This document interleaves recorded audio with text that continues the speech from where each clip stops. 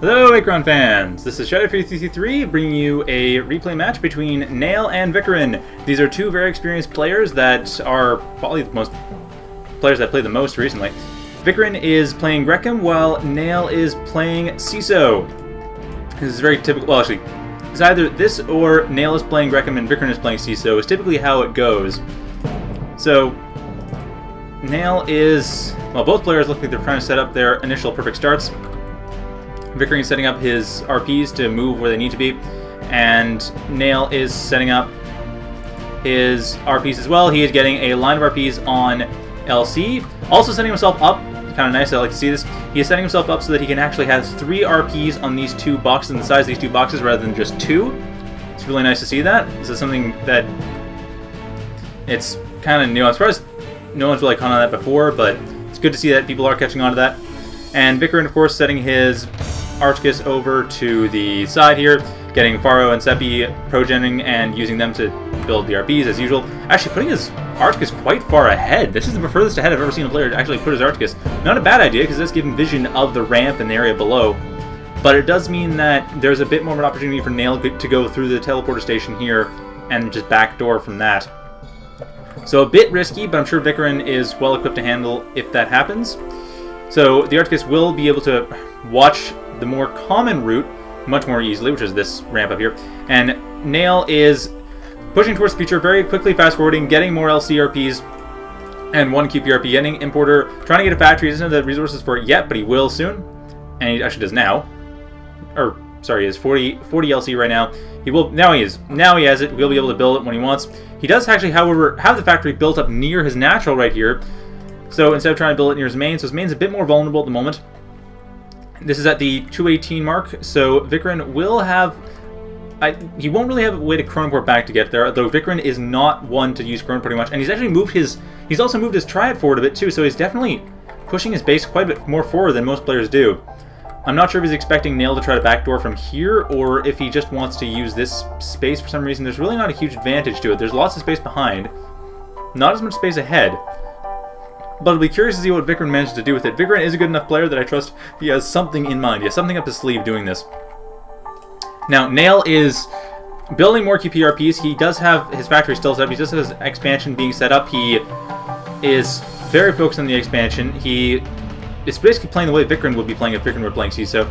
Surprisingly, Vicarin, well, not surprisingly he's playing Grekim, but Vicarin is not going quickly for expansion as Grekim. He is definitely getting RPs, but he isn't actually fast forwarding through. He's going at normal speed, which is a little bit odd, a little bit unusual, really. Most players will go at fast forward when just the start of the game.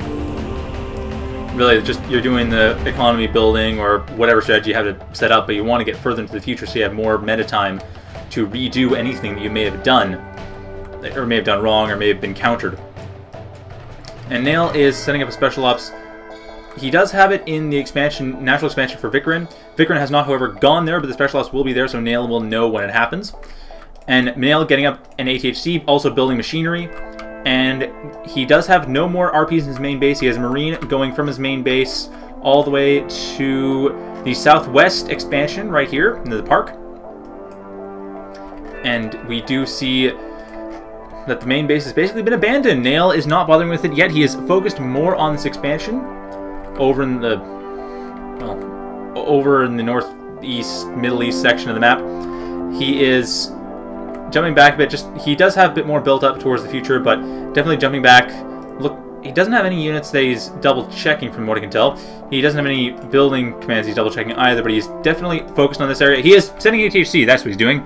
He is sending the ATHC in to harass and bookmarking this section so he can go back and change around the harassment if needs to, or undo it if he has to, knowing when it will happen. Very good idea. Vicarin is still focused on construction, has not, he is fast forwarding now, and was back to normal speed. Like I said, I'm a bit surprised he is not fast forwarding because he is falling further and further closer to the unplayable past edge, which at this stage in the game is a very bad idea. You don't want to go near the unplayable past edge until you have a pretty solid timeline of this.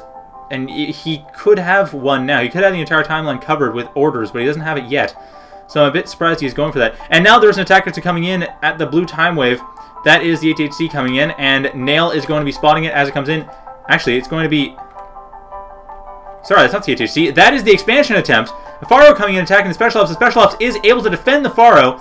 My mistake. That was actually how that worked. So now Nale knows that Vicarin's Nale actually didn't know that earlier. He had no he had no way of scouting or actually didn't bother to scout it. And the HHC coming in, hitting the Arcticus that actually worked out pretty well. Surprisingly enough, this he did go for the station backdoor, but it didn't end up panning out. The Arcticus did still defend against it.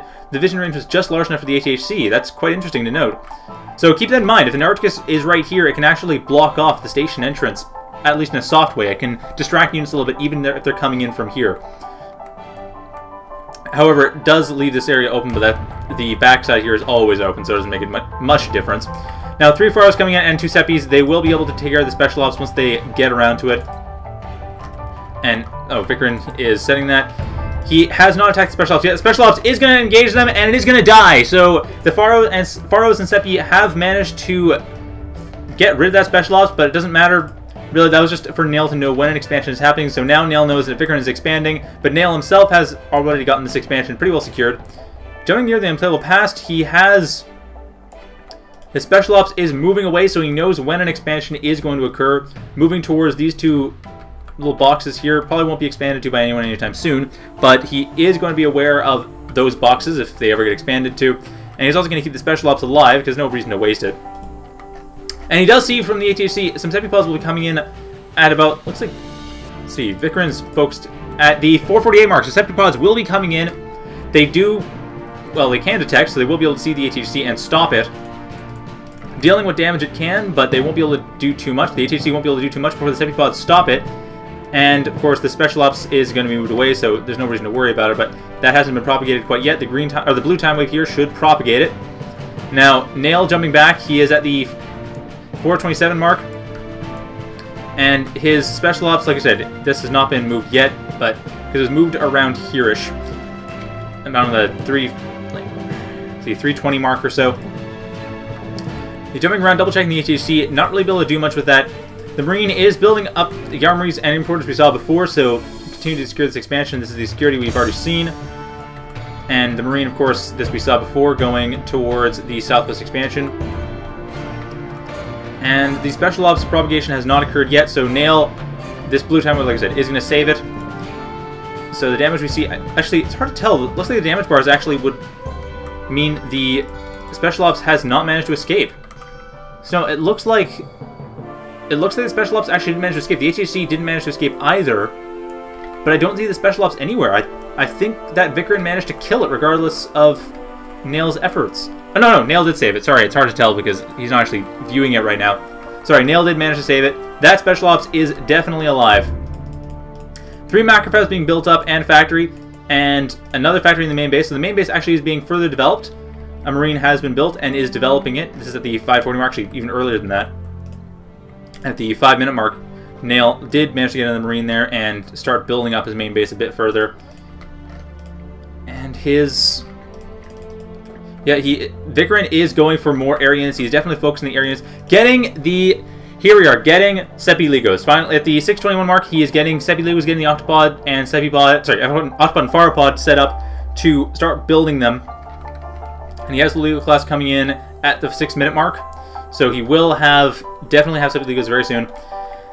And both players very focused on the unplayable past edge. Three Seppi pods coming in to attack Nale's natural expansion, and Nale has a tank coming in to help defend against it. Nale has a tank and a frigate, actually. They will be able to defend against it decently, but the frigate does go down. The tank will be able to finish them off. But I think this is definitely this is an advantage for Nale. Nale is ahead. He does have more resources. He does have more production capacity. And he does also have, quite definitely, a stronger well, he just now is getting a unit advantage, but the sepiligos are going to be decisive. The sepiligos are coming in at the 636 mark. They will be ready by the 7 minute mark, and that is going to be the decider right now. If Nale can build up enough, he's getting a ton of frigates. He's definitely focused on getting a lot of frigates. That's currently considered to be the counter to mass Seppi Legos as mass frigates. And Vicarin has not really set up his base yet to counter frigates trying to assault his base, so to do that, you'd have a bunch of reefs and artifices that are all set up so that you the frigates try to attack them instead of the Seppi Legos. Easy to distract them. Vicarin has not done this, so Vicarin will actually have a slightly hard time defending against any frigate attacks that may come in. Nale jumping closer to the present, macroing up near the present, getting getting a bunch of frigate orders set up throughout the timeline towards the present. I like to see this. I'm very glad Nale is doing this. He is macroing towards the present. He is still has way too much money in the bank, though. So the one thing I would say, he could have three times as many macrofabs, and he'd be fine. Vicarin, on the other hand, is staying towards the unplayable past. He has not done any macro towards the present. Getting a couple Sepiligos. He has already one Sepiligo and three Sepipods. The Sepipods that were attacking the natural have decided to attack the northeast base instead, where Nale has set up. And Nale is... Actually, he's set up pretty much everywhere. At least a, a couple RPs, pretty much in every expansion that Vicarin has not grabbed, except for these two north boxes and these two west boxes. The south boxes he's taken, the east boxes he's taken, and of course this expansion he's had quite well secured for a while now. And the frigates coming in, they will be able to destroy the Sepipods and the Sepiligo. No, not the Sepiligo, the Sepiligo coming in now. Frigate, one of the frigate goes down, the other frigate is retreating. The All the frigates are retreating, so one of the frigates has been lost, and Vicarin is retreating his Sepiligo as well. Vicarin has now four Sepiligos at the 816 mark. Nale is at the 837 mark. He does see the Sepiligos, but he has already retreated his frigates, so it doesn't make a difference. And of course, Vicarin has retreated the Sepiligo, so th that damage is not actually going to have ended up happening. Tornad's coming in to the Middle West expansion that Vicarin had, trying to harass it, doing a decent job, but not really doing a whole lot of damage. And Vicarin is going to send in his Sepiligos to just destroy that Tornad. We'll be able to make very short work of it. And there is no way Nale can get that out of there. It's right next to the unplayable pass. that Tornado is gone. And the Sepiligo is coming towards the southwest base. They will be able to tear it to shreds. Four Sepiligos coming in. Nale jumping back. He is going to be trying... Probably going to be trying to send his frigates in. He does have six frigates. He, like I really could have more. He has a ton of orders being sent for the next three minutes or so. So he does have a lot of stuff set up. He's ready for this. He can do some micro. He doesn't have to worry so much about his macro right now. That's been taken care of. Although, like I said, he really could build a lot more macrofabs and get away with it. If you need... He needs a bit more importers. That's the only thing. If he has more importers and more macrofabs, he'll be great. Giuseppe was coming in to the southwest base. They are. This is the 9 to 18 mark. This is when we saw them coming in. Now the frigates are coming in to counter again them. There are about nine frigates coming in. And the first six coming in. They will be able to destroy one Sepiligus, but two of them have died already. One Sepiligo has gone down. The second Sepiligo going down. And now the last Sepiligos are going down, but the frigate leader has died. He died a while ago, but Nale jumping back to remarker the battle. He has retreated. He is abandoning this base of the Sepiligos, but the Sepiligos themselves have also retreated. So Vicarin, both players are retreating, not sure about whether or not they can take each other, and deciding it's best to retreat, keep the units alive. And it seems like both players retreating based off of the assumption that the other one would win the battle, which is rather interesting. Regardless, Vicarin has returned to the southwest base, but Nale has his frigates set up there already. Although Nale... No, he does not. He is actually setting up his frigates towards his main base. He has retreated them back to his... Not main base, but his macrofab line. He's retreated them back to his macrofabs, getting more frigates, and now the is coming in. There's half a dozen Sepi dead, destroying this southwest base, and without chronoporting, there isn't much Nale that can do about it, and he is getting ground He's not getting chronoporting. He does not have any means to go about this. Nale jumping back about 10-3, he's jumping back about a minute from when he was before. And the Leaguers are actually, they've changed their course there, instead attacking the northwest base. So Vicarin is definitely focused on attacking the north, sorry, northeast base, middle east base here. That is, not the northeast base. The northeast base is actually pretty secure, but the middle eastern base is getting heavily damaged by the frigates. Sorry, by the Leaguers. The frigates are not doing anything to attack it yet. Nale jumping towards the future. He is macroing towards the future. And now jumping back to macro, the, to the 11 minute mark, to micro against these Sepiligos. He really needs to send his frigates in, but he doesn't have much to do with that. Now he's sending in. Okay, now he is actually attacking with the frigates. About two dozen frigates coming in. We'll be able to take care of the Sepiligos, no problem. He's losing... All the Sepiligos going down, and he's lost about half of his frigates in the process, but still, he had a critical mass of frigates, so now there is there are enough frigates, about a dozen and a half frigates. We'll be able to take care of any Sepiligos swarms that Vicarin can throw, unless Vicarin does a really good job of controlling them in the meantime. So Vicarin, and double check, I'm if he wants, I'm sure he wants to retreat those Sepiligos. I don't think he can. He is building more of them, though. He has five Sepiligos coming in the southwest base, once again, the 1146 mark.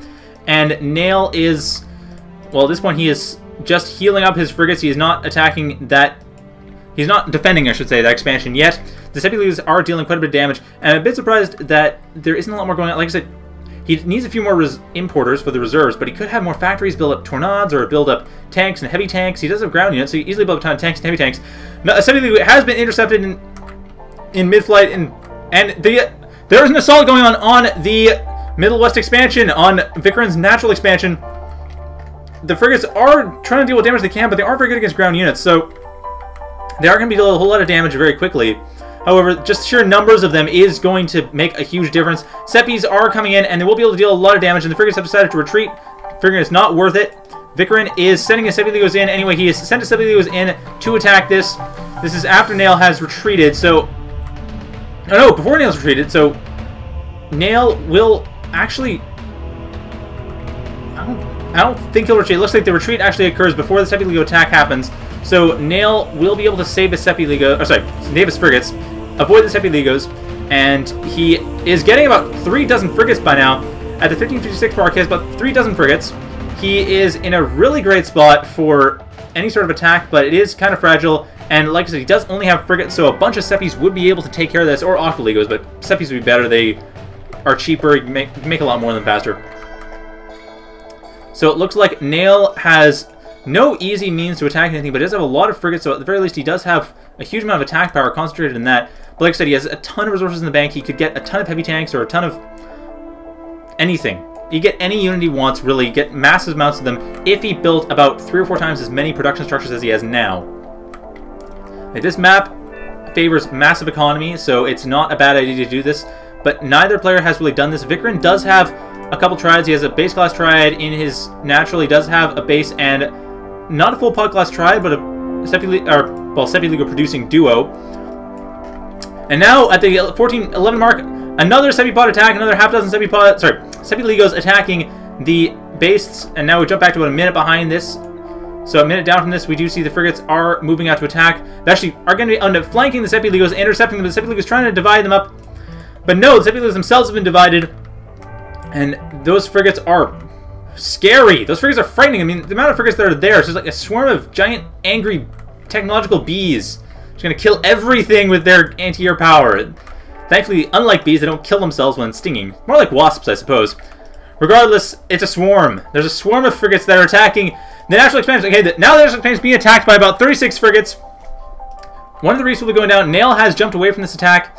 He is not focusing on the attacks, just going to get propagated by time waves.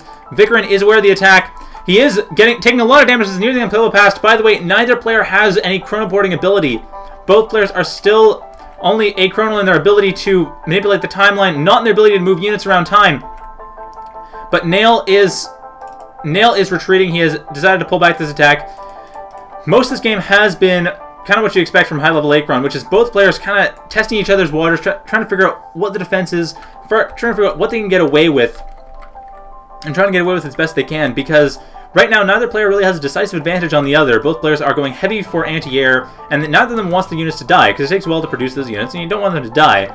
So both players are trying to figure out where they can get a decisive advantage and finally push it. At this point, the game will likely be decided by whoever actually gets... Really, whoever ends up getting the decisive advantage near the unplayable past and isn't able to retreat is going to either win if they win that battle or end up losing because they lost all their units. Now Vicarin coming in with a dozen Sepilegos toward the northeast base. We'll be able to tear that apart pretty quickly, and this is about a minute up from the unplayable pass, so Nale still has a chance to counter this. Nale is jumping back to that exact point in time, a minute before the or minute down near the unplayable pass. Now he's at right when the attack occurs at the 1636 mark, and he will be able to stop this if he so chooses, but it doesn't look like he's actually choosing to do that. Instead, he does have his frigates... He has decided to attack this base, but I don't think this is actually causally consistent. I think he's moving away from this.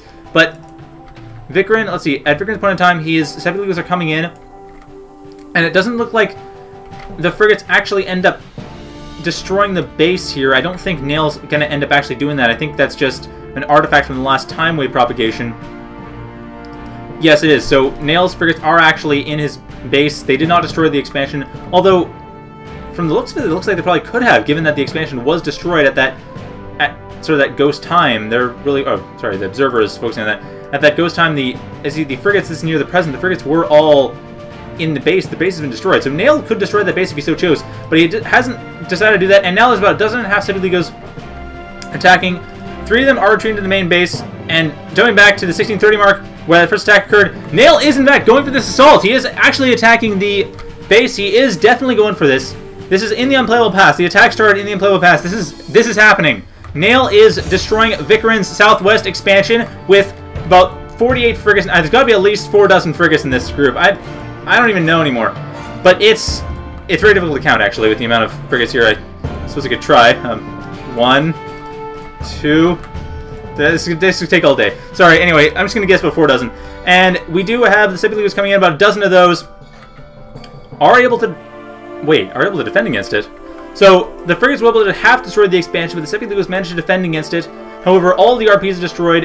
Vicarin is not quite as secure financially as Nale is. Nale has tons of money in the bank, so it doesn't matter for him so much. But Vicarin does not. Vicarin is looking kind of shaky right now. He doesn't have any secure expansions. Nale has most of the map right now, and Vicarin only has one expansion, and the two dozen Legos. Wow, he's really getting the Lego count up, though. But he doesn't have a lot of resources coming in regardless, while Nale has, like I said, about four dozen frigates, and is he does have to worry about the Sepi Legos, but I think if he flanks them right now, he should be able to just finish them off. And Nale, this is near the unplayable pass, by the way, the 1748 mark.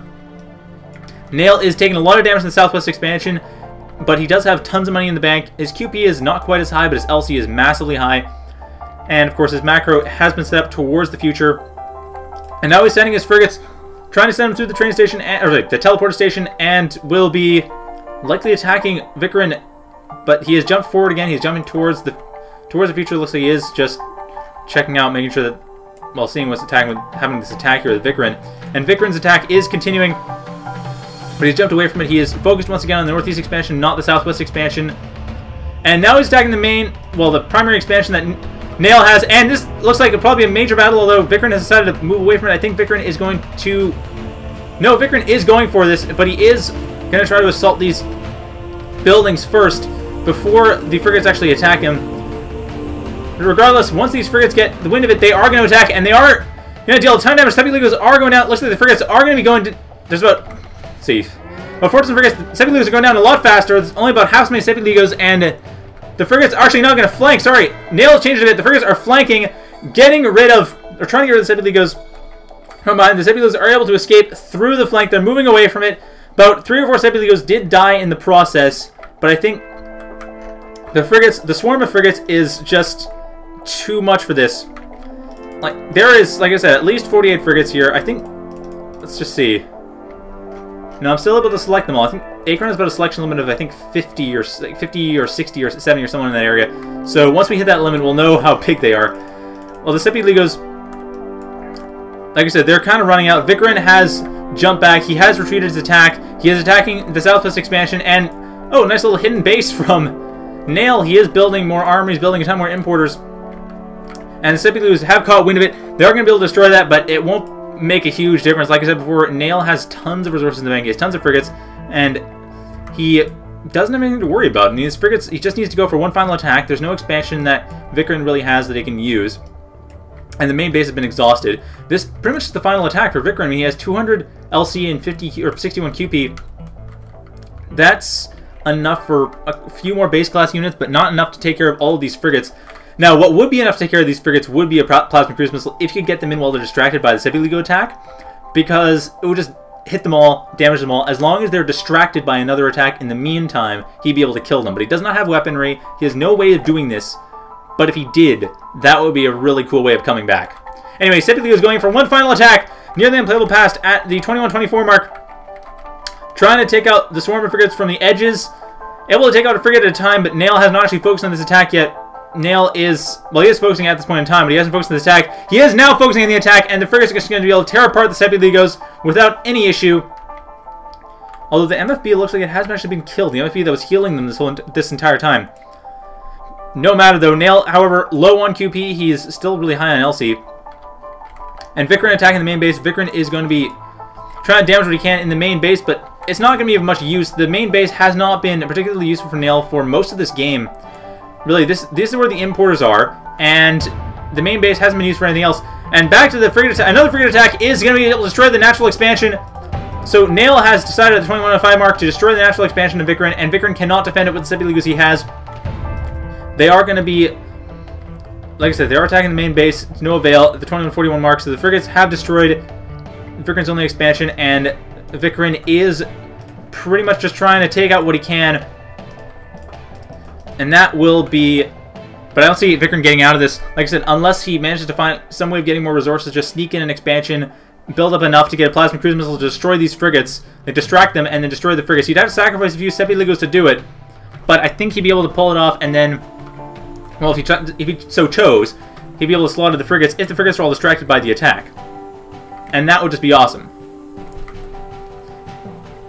However, given that he's not doing that, uh, another option, of course, is a Chrono Bomb, because that would allow him to divide and conquer, but I don't think he even has... I think even half of these frigates... If half of these frigates were alive, they still slaughter all the Sepi Legos, and they have all slaughtered the Sepi Legos. Vicarin has pretty much nothing. He has a couple more Sepis coming in, but that's nowhere near enough. There is no... Yeah, there is no way Vicarin can get out of this. Vicarin has completely lost. He has two Sepis going towards the northeast base, there is nothing he can do. He is completely lost. I mean, another option, of course, against not maybe this many frigates, but just in general against the frigates when they were smaller, would have been a lot of Sepis or a lot of Octolegos. Because, of course, those are ground-based anti-air, and the frigates are just, well, they're air anti-air. I mean, they're anti-air units. They aren't going to be able to damage the ground units as effectively as they'd be able to damage air, and so the ground units are able to just tear them apart. Sepi are a bit more they are a bit more generalist, but they are still units. The frigates are going to be effective against them, especially in such a critical mass. And now the frigates are going for a final push. Nale going for a final push through the teleporter station. And will be finishing up this game. He will be able to... destroy the RPs, just tearing apart everything. All the buildings will be going down in seconds. The 2354 mark, this is when the final attack occurs. Vicarin is well aware of this, and there's nothing he can do except watch his base be destroyed, and... Well, Nale has said GG, but Vicarin hasn't actually officially surrendered yet. Doesn't matter much, though. The, the amount of damage coming in, he has been just completely obliterated. The frigates are tearing everything apart. Nale jumping towards the back. Let's see, he's trying to figure out... Apparently he lost some infantry at some point. I guess Sepiligo... Either he just can't find them, or Sepiligo was had managed to destroy them at one point in time and get that got undone. That was a very interesting game. So lots of use of frigates and Sepi Legos. I think just watching this that really that wasn't the definitive way to go. I mean, yes, Nale did win with a critical mass of frigates against Sepi Legos, but Vicarin could have gone for Octolegos or Sepis or weaponry and then on one of those big attacks where they came together and actually clashed, fire off a plasma cruise missile if it was an attack that couldn't really be Actually, especially if it's attack that couldn't really be undone, the PCM travels back in time, so that would have been able to actually destroy the units when they were distracted. As a result, he would have been able to kill off all of those frigates and then just start wreaking havoc with Sepi Legos, and possibly with any other units he may have built, but still, the Sepi Legos would have been able to just finish it off. However, he did not have the technology to do that, and it's kind of unfortunate he didn't, but that would have been an awesome way of doing it.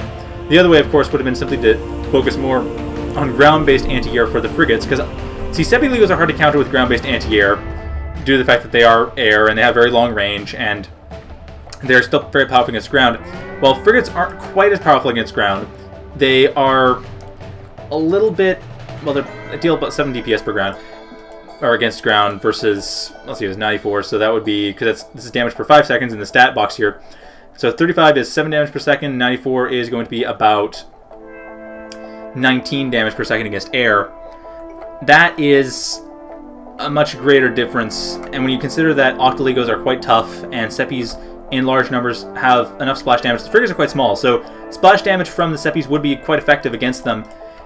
You could easily destroy a massive amount of Seppi, or frigates with enough Sepis or enough Octolegos. So ground-based anti-air would then forced Nale into a more diversified unit, more mixed strategy, and that would have been more interesting, but like I said, Vicarin, we kind of see here something of the limits of pure Sepi Lego versus Frigate. There is a point where frigates will simply have critical mass. And it's important to note that. So, it'd be nice to see more use of super weapons against large armies like this. It is it is a counter. It is a designed counter for large armies. Not for bases so much as for armies. And also, like I said, just a more diversified unit setup. More anti-air on the ground would have been quite effective. I think. I mean, maybe I could be wrong. Maybe this has been tested before, but it does seem like against this number of frigates, or not this number so much, but half as many when you had half as many frigates, you'd be able to just counter it pretty effectively with ground-based anti-air. Anyway, I hope you enjoyed that, and have a good night, everyone.